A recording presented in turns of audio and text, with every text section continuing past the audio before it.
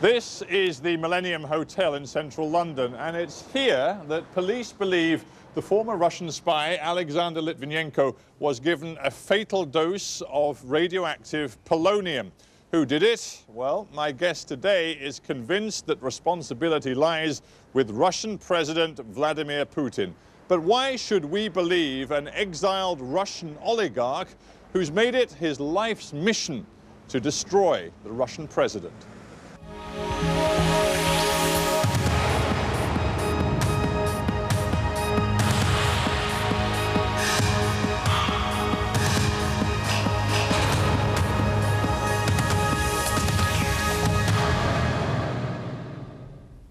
Boris Berezovsky, welcome to Hard Talk. Thank you. I want to begin with something you said just a few weeks ago. You said, I have a target to destroy Vladimir's, Vladimir Putin's image in the West. That sounds like a personal vendetta that you have with Putin. On the one side, it's correct. On the other side, it's completely wrong uh, because uh, Putin is a president of Russia president who came as a successor of Yeltsin. And maybe you remember that Yeltsin started democratic reform in Russia. It means that Putin became traitor because he stopped the reforms in Russia. He is trying to move Russia back to, to communism or socialism, I don't know how to call it today. Uh, but definitely it's not vendetta, it's and particularly not personal vendetta. But it, so it sounds very personal. It sounds like you are driven by personal animosity. And uh, it's, uh, if you return back to 2000, for example, when I left Russia, and I wrote open letter addressed to President Putin, and I mentioned all points where I disagree with his policy. Moreover, he was my friend. I met him the first time at the beginning of 90s, and uh, 10 years we cooperate a lot, and I thought that he uh, will continue democratic reforms which Yeltsin started, and it's happened completely different. And uh, I understand on the other hand, well, because, because I'm friend of him, I was friend of him, it's good accept as my personal vendetta, but it's not so. Well, I want to talk about your friendship with Putin, uh, as you say, going back many years in a moment, but let's, let's actually focus on the murder of Alexander Litvinenko first, because you have claimed that in your mind there is no doubt that Vladimir Putin ordered that murder. But do you have a single shred of hard evidence to back up that claim? I have several, not just one. Uh, the first one definitely is Alexander Litvinenko's statement, which he presented me personally when the first time I met him in hospital, and he told me, Boris, believe it, believe me, that it's organized by state and Putin personally involvement. But with respect, that, that's not evidence, is it? Uh, just a moment. That's it's evidence because many times what Litvinenko present before happened as a realistic, as a facts, yes? And it means that he was professional. I mean, Litvinenko was professional in his investigation. It means that being already in hospital and feeling that he is dying, he present a really very strong message to me that worries, be sure that Putin is behind of that. But it's again, if you like to accept that as a emotional, it's up to you. But uh, there are uh, there are clear evidence that at least state behind of that. Yes, polonium, polonium 210 impossible to produce without state involvement. Impossible to transport to the other country without state involvement. Impossible to organize this plot without state involvement. And it's, the, it's a clear evidence for me, yes? The second evidence is not maybe uh, direct, is indirect, how Russia tried to protect people who are involved in this murder, in this plot. How Russia stop, is trying to uh, to stop Scotland Yard in investigation in Russia, how they try to protect people who are involved in that, Lugovoy, for example. And I tell you, I have also a long experience in this country as far as my communication with the uh, judge, with the, with the court system, with legal system in general. And I tell you, I'm 100% sure the Scotland Yard made very professional job. The man, therefore, who has gained most from the death of Alexander Litvinenko is you, Boris Berezovsky, because this has become the most wonderful instrument for you to portray Putin as a murderer. Look, it's a very well known speculation about that. And you just confirm that there is another public opinion which you present as a very, very public uh, uh, program, yes? And uh, I, I, think, I think, I think, given given what you have said about your views on Vladimir Putin and how you want to destroy him, it is incumbent upon you to respond to the claim made by Mr. Lugovoy and others that there may well be a connection between you and the death of Mr. Litvinenko. He worked for you, of course. He was closely connected to you. Indeed, Mr. Lugovoy has worked for you in the past and been associated with you. You are inextricably connected to the death of Mr. Litvinenko. Tell me, please, the format of this program is you just put a question, or I am also allowed to put a question to you? Well, I, the idea is that I ask the questions, you provide yeah, the but, but, but, nevertheless, uh, you know the conclusion of Scotland Yard. You know the conclusion of uh, Crown Prosecutor Office, which completely against of your speculation, completely against that I am involved in this plot, and the conclusion of Scotland Yard and conclusion of uh, uh, of Crown Prosecutor Office is that Russia involved in that. And moreover, they named the person who really poison Alexander Litvinenko. It's Mr. Lugovoy. Moreover, I tell you one very important... I should add, because I'm sure the lawyers would want me to add, that all they want to do is question Mr. Lugovoy. They have named him as a man they would like to question. No, they no, have no, not said he, he you is are, the man who committed the crime. You are completely wrong maybe you didn't read the final statement of uh, Crown Prosecutor Office. They accused Lugovoy as a killer. It's completely different. As you know, we have a principle in this country. You are innocent until proven guilty. It Nobody at this it, point it is saying Mr. Lugovoy is the killer. There are, there are people in this country who would like to interview Mr. Lugovoy. It means if Lugovoy believe in your principles, he should take a plane, come to this country and go to the court if he believe what you believe. It means that your understanding of justice of this country is completely different what Lugovoy understand. And it means that you are not able to present that, what you said before, as a proof what you said. Because Lugovoy re refused to come to this country. Moreover, uh, maybe uh, uh, 20 days after Alexander was uh, Alexander died. Alexander Litvinenko died. Lugovoy called me exactly at this room. I, I have that time, and he uh, asked me, Boris, do you believe that I am a killer? And I said, it's very complicated for me to believe in that because you are, you are my friend, and Alexander was my friend. And I said, but uh, there are some evidence that you are a killer. And there are two at least. The first one is objective. The trace of polonium follow you all over the Europe, even cross my office, exactly at this place Lugovoy was sitting, and you don't see now the chairs, but believe me, there was the chairs which were uh, traced a lot because the level of polonium was 800 times more than the place where Litvinenko was sitting. And the second, I said, if you believe that, if you're sure that you are not guilty, take a plane, come here, I take the best lawyers of this country, and you able to prove that you are not guilty. No chance to put you in jail if you are not guilty. And he disagreed with that. It means that you are fighting now against of official presentation of this country, that uh, Scotland Yard conclusion, that uh, Crown Prosecutor Office conclusion, that Lugovoy is accused to be killer. I take no side in this particular dispute between you and the former associate, Mr. Lugovoy.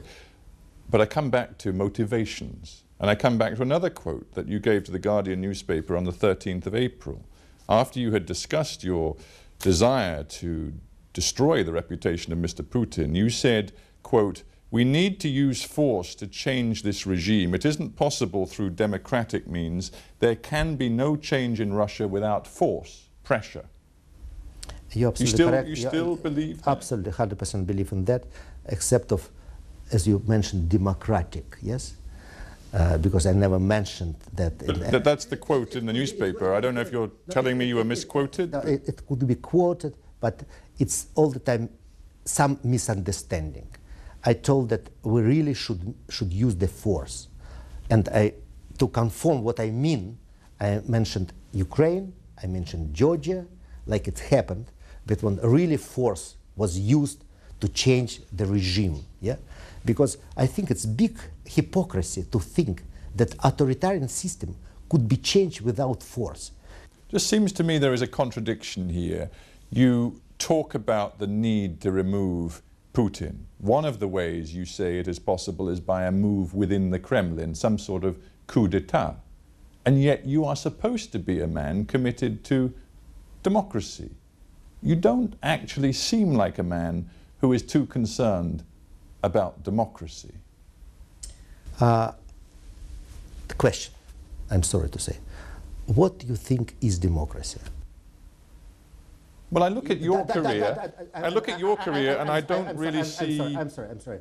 As, as you Well, you asked me a question, so I'm going to. I'm just going to, if I may, return the comment. You asked me about democracy. What I will say about democracy is that I see very little connection in your professional career between your activities and any real commitment to democracy. I don't see it in the 1990s when you became one of the richest men in Russia, one of the leaders of the oligarchs. I don't see it in your relationship with Boris Yeltsin. I don't see it in the way that you decided to mentor Vladimir Putin. You chose Vladimir Putin. You saw him as the right successor to Yeltsin. In all of these activities, I don't see any real commitment to democracy. Okay, we discuss in terms of speculation or in terms about uh, as far as facts is concerned. And if we return back to the facts and what you mentioned before about my connection to Yeltsin and so to 96, maybe you remember elections of 96 and who Yeltsin was opposite to in election he was opposite to communists, to Zyuganov. And I support Yeltsin, and Yeltsin was elected, and Yeltsin continued democratic reforms. Yeltsin completely- also uh, j- continued to allow you to take over the Russian economy. You told Forbes magazine in 1996, I and half a dozen other Russians control 50% of the Russian economy. You were involved in everything from Aeroflot to Sibneft to selling Russian cars. You were exploiting Yeltsin's complete sell-off of the Russian economy. And that was nothing to do with Do you, democracy. do, do, it's completely wrong. Do you know the law that it doesn't matter how property is diversified? The importance is that it should be diversified. It means that instead of only one owner, like happened in Soviet time, in communist time, when state owned all the property, will already become just seven who own 50%, but the rest 50 owned by the millions. It means that it's much better than it happened before. I don't want to tell you that it was excellent, but it was much better than it was before. But, but Mr. Berezovsky, what an extraordinary thing to say that it doesn't really matter how it happens as long as property is taken out of state hands and given to individuals. It matters a great deal how it happens. The public wants accountability, it wants transparency. It doesn't want people like you to be given sweetheart deals, given, for example, the Sibneft Energy Company for roughly $100 million when every expert said it was worth 1 billion US dollars. Is that what the public wants? It's completely wrong because the price is market sense. And when I came to Mr. Soros, do you know this name? Mr. George Soros. Who destroyed a little bit economy of this country, yes? And to the other in Europe and to Japan, and asking them, because I didn't have 100 million that time, I had just 50 million, and asked them help. I had them credit and so on. They said, Boris, are you crazy? Because next day, next month, communists will take power and they take back everything what you are buying. It means that the price in market economy means value and risk. And I personally took this risk and I won. It means that the next day after president after elections, when Yeltsin was elected president of Russia, I got a lot of proposal to sell it, as you mentioned correctly, for billion, but it was already different time, and I disagree that. I refused that proposal because I knew well that it's already not one billion, it's 10 billion. It's, again, the law of market economy. And It's I interesting. fight for that. I understand what you're saying, but it's interesting that George Soros, whom you quote, has since called you because for a time you were friendly and you were associated in your belief that you could campaign together for civil liberties and freedoms in Russia. George Soros eventually fell out with you, and he now describes you, I saw the quote recently, as an evil genius who destroyed Russia. So George Soros has no faith in your commitment to democracy. I just agree with the one word, uh, genius, but disagree with evil. And uh, definitely, uh, George Soros did not, um, did not uh, recognize what happened in Russia. I also may tell you that he's a very clever man. And more, one day he, uh, he invited me to join he, to him to his, uh, to his charity in Russia and uh, accept that and I support Russian science as far as I spent 25 years as, as a mathematician, yes. But I tell you, he didn't understand what happened in Russia, and it's the reason why he lost money in Russia finally, yes. Uh, because, uh, because the problem is that we really pass through the very, very complicated time in Russia, and uh, we were not able to follow immediately the laws of the West, yes. But step by step, we learn a lot. And I tell you, what happened today in Russia, in Putin's time, even when Putin tried to move Russia back, it's just the result of Yeltsin revolution. Because the revolution means not new economic mechanism, new uh, political mechanism. Econo- revolution means mentality changes. And millions Russia accept the position that to be independent, to be self-sufficient, not to depend to the state, not to depend to president, not to depend to the Tsar, is much better than to be dependent. Let's talk about what Russians also believe. If one believes opinion polls, the vast majority of Russians still approve of the job Vladimir Putin is doing. His approval rating stands something close to 80%. In the last elections, he garnered around 70% of the vote. If you are as committed to democracy as you say you are, you have to acknowledge that Vladimir Putin has the support of the Russian people.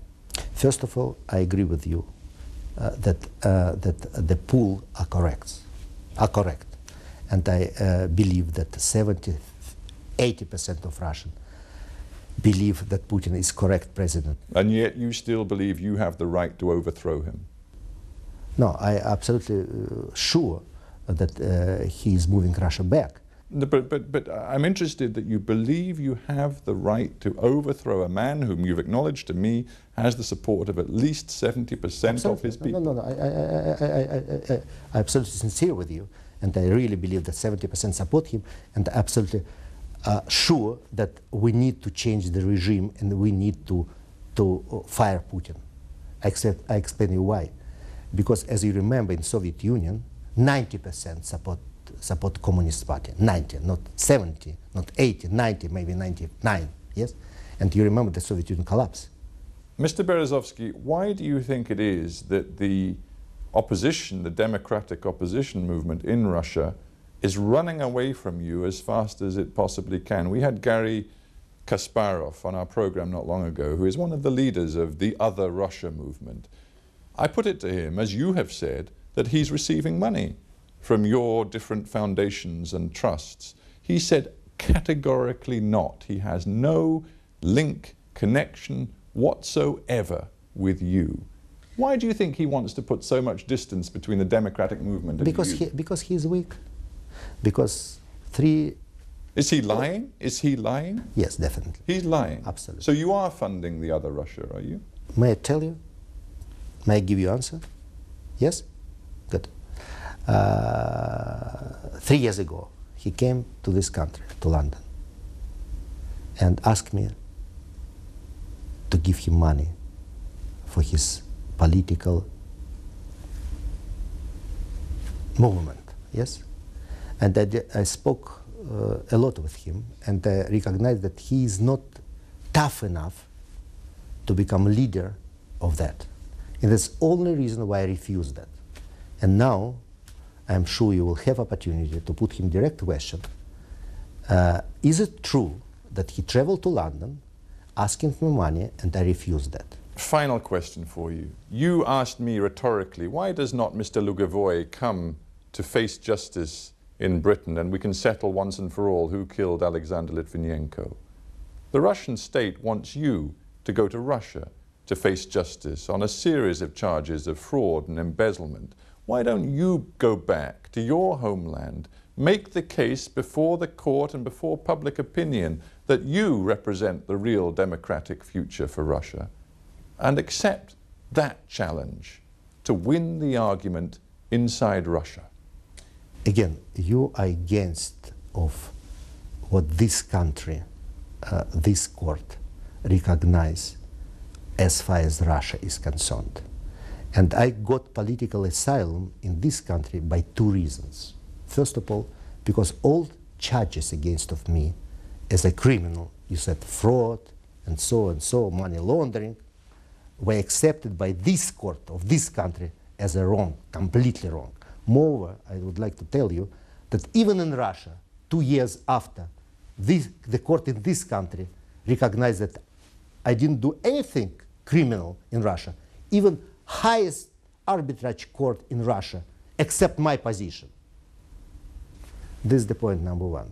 The second point, uh, it's absolutely clear uh, that I don't have any chance to have fair court in Russia.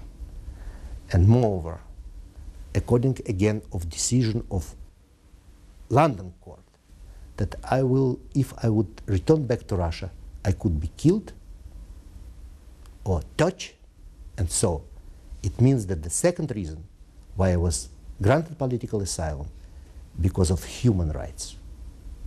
It means that it's completely different to, to compare me with Lugovoy case. Are you sure that if Lugovoy will come here, he will be touched or, or, or killed? Are you sure? Boris Berezovsky, thank you very much for being on Hard Talk. Thank you. Thank you. It was a pleasure. And